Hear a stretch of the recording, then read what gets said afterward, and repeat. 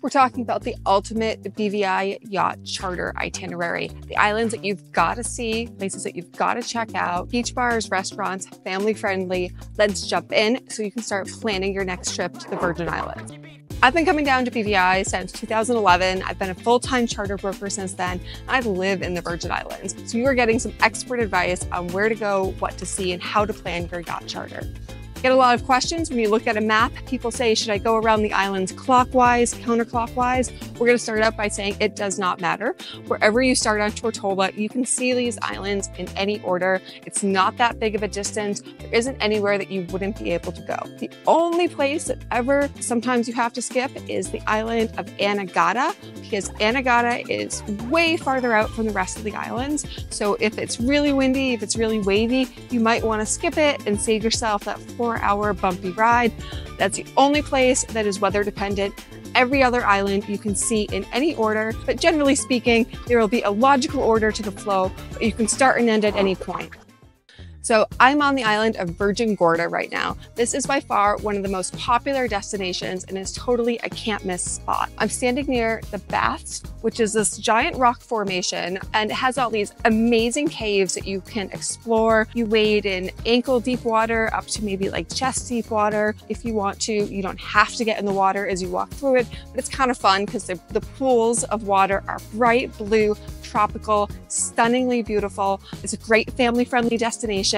There is some hiking and some ladders involved, hanging on some ropes as you walk through the caves. So it's not for everybody, but it is a stunningly beautiful destination to check out. I would try to time this based on when cruise ships are around. So this is a top tip. If you can avoid a cruise ship day, please do. It'll make your experience completely different. Otherwise, getting here kind of late in the day is a good way to do it because a lot of people are heading back to their cruise ships around three or four in the afternoon. The other places on Virgin Gorda not to miss are Leverick Bay. So a little bit further to the north. It's a great place. You can even dock for the night. So tie up your boat to a dock where you can walk off and walk on. There's some restaurants there to check out. And if you have kids, it's a great place. They have something called Our Show, which is a pirate show which runs several days a week. It's a really family friendly event. Everyone blows the conch shells. You can get up on stage. You can be part of the experience. And that is called the Michael Beans Our Show on uh, Virgin Gorda. You can check out Facebook for um, the days it's running, the availability, but it's a really fun thing to check out. Just add a little bit of flair to your charter, especially great if you've got kids with you. Some other great spots to check out on Virgin Gorda are going to be North Sound. So we're talking about the Bitter End Yacht Club and Saba Rock. So the Bitter End Yacht Club, admittedly, it got wiped out in 2017. It used to be this like legendary resort. They do have some of the hotel and accommodation up and running again, but it's not at full capacity. You really get to go there for day activities. They've got a huge boat turned into a bar, but not like an old boat. Like they built it beautifully just to be a bar. They've got water toy rentals. You can check out e-foils here. You can take lessons on how to use them. Sea scooters, everything is available for rent, especially if you're looking for some of the premium water toy experience. So that's the Bitter End Yacht Club in North Sound, Virgin Gorda. Right next to that is Saba Rock entire island that's just a restaurant. It is so cool. It's one of the cheapest places to check out. You would anchor in a, on the mooring field and use your dinghy to get ashore. Go there for dinner drinks. They also have water sports rental. Both Bitter End and Saba Rock are great places to pick up some souvenirs. I point that out because some places there's just nothing to buy. So, you know, don't wait and think you're going to see a million spots. You see something cool, get it while you can. The souvenirs can be few and far between.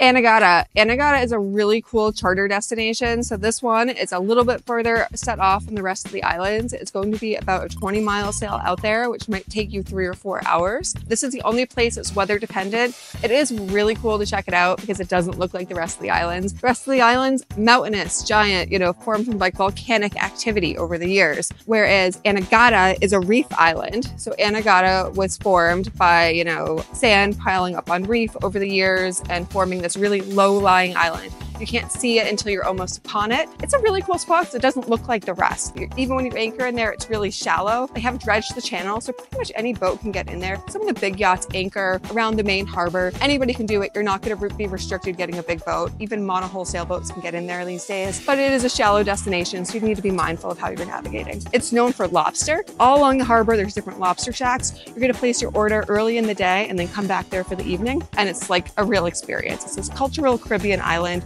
experience have Anegada lobster. They also have an Anegada Lobster Festival once a year. The other cool things you can do in Anegada, you can get a day boat out to Conch Island.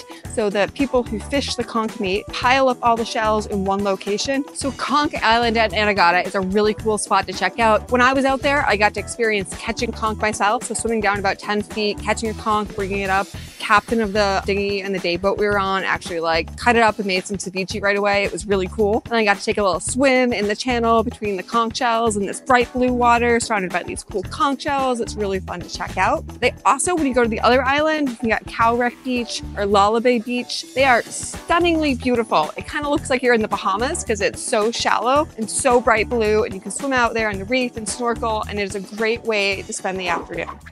Another can't miss location is going to be Jost Van Dyke. Everybody's got to check out the Soggy Dollar Beach Bar. It's listed as one of the best beach bars in the world, and it does not disappoint. Of all places that live up to the hype, Soggy Dollar Beach Bar is one of them. When I book a yacht charter, a lot of the time I will just be like, I'm so excited. I'm checking the Soggy Dollar Beach Bar live cam every day to see what the weather looks like and can't wait until I'm one of those boats anchored out just off the beach, swimming ashore. So I get my dollars all soggy so I can go up there and try the painkiller cocktail they are famous for. Soggy Dollar is not an overnight anchorage. It's just somewhere you would spend for the day. So you go around the harbor to Great Bay. That's where you're going to find Foxy's and a few other places, Corsairs and a few other restaurants. Lots of restaurants, lots of great nightlife. That place is pumping. It's the New Year's place to be. Anchorage gets full so fast and people just love it. These are some of the highlights of a British Virgin Islands yacht charter. Mm-hmm.